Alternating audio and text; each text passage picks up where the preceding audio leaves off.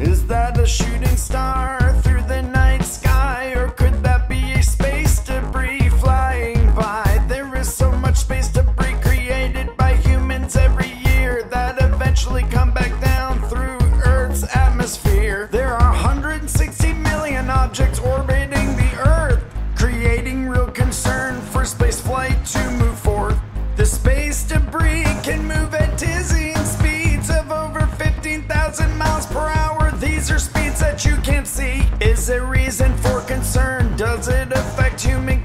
Certainly does. Let's take a closer look to see what we find. If an astronaut's on the space station on a spacewalk to fix something at the space station to try and beat the clock, then a piece of space debris is orbiting through space. It could hit the astronaut, tearing a hole in his suit. Now brace. If you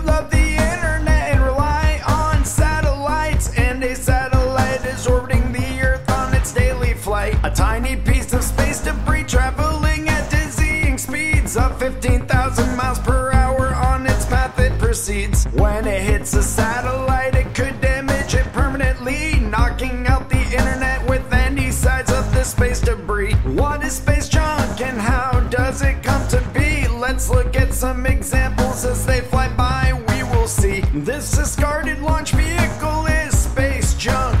Also, this old discarded astronaut glove can create a funk. A dead space satellite is the trash I'm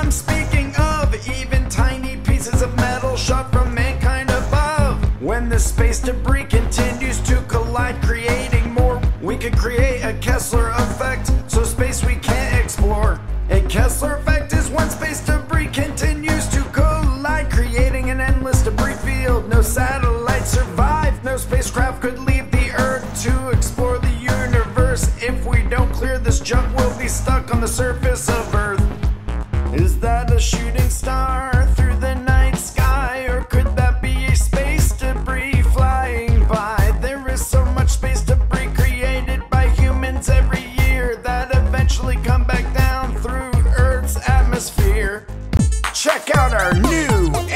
channel. It's called KLT Wild. Thanks for watching KLT. Please subscribe to this channel, like our videos, and check out the KLT merch.